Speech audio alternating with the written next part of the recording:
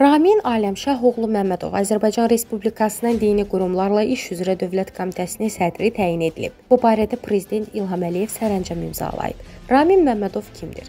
Ramin Məmmədov 1979-cu ilin fevralın 17-sində Ağdərə şəhərində anadan olub. Bakı Dövlət Universitetinin Beynəlxalq Hüquq və Beynəlxalq Münasibətlər fakültəsini, eləcə də Beynəlxalq Münasibətlər ixtisası üzrə magistr pilləsini bitirib. Dövlət qulluğunda fərqlənməyə görə və tərəqqi medalları ilə təltif edilib. İngilis və rus dillərini bilir. 2001-ci ildən Azərbaycan Respublikasının Mədəniyyət Nazirliyində mütəxəssis, 2002-ci ildən xarici ölkələrdə yaşayan azərbaycanlılarla iş üzrə Dövlət Komitəsində mütəxəssis, есть. Sədrin köməkçisi, şöbə müdiri işləyib. 2008 2009-cu illərdə Avrocity Holdingin vitse-prezidenti, 2009-2020-ci illərdə diasporla iş üzrə Dövlət Komitəsində sədrin köməkçisi, aparat rəhbərinin müavini, sədrin müavini vəzifələrində çalışıb. Yeni Azərbaycan Partiyası İdarə Heyətinin üzvüdür. Milli Məclisin Ailə, Qadın və Uşaq Məsələləri Komitəsinin Beynəlxalq Münasibətlər və Parlamentlər Arası Əlaqələr Komitəsinin üzvüdür. Bolqarıstan, Çin, Fransa, İsrail, İtaliya, Koreya, Serbiya parlamentləri ilə əlaqələr üzrə işçi qruplarının üzvüdür. Qaradəniz İqtisadi Əməkdaşlıq Təşkilatının